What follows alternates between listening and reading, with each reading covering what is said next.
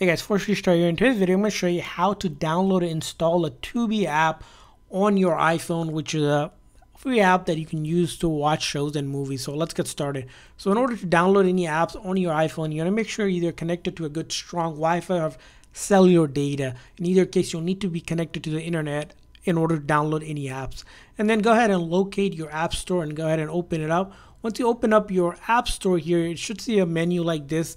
And then you're going to verify on the top here that you're signed into your Apple ID, or if not, go ahead and sign in or create one by creating by clicking on create new Apple ID. In either case, you need Apple ID in order to download and install any apps. After that, you're going to go to the search bar here and then search for the app that you like to search for or and install. So in our case, Tubi.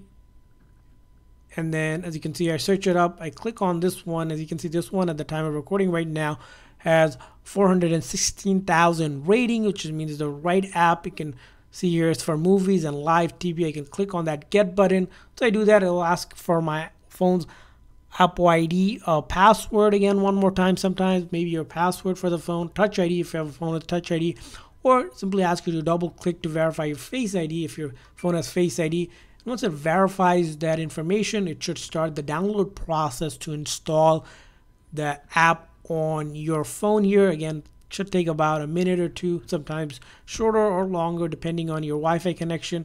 And you can exit out of that App Store app and then go to the very last page under App Library, and you should see under recently added the app there. You can press and hold and then add to home screen. It will add it to your home screen just like that go ahead and open it up and as you can see here the app is downloaded and ready to go and I can go ahead and start watching movies and shows on this app which is free to do. I hope this video was helpful. If so please make sure to like and subscribe button.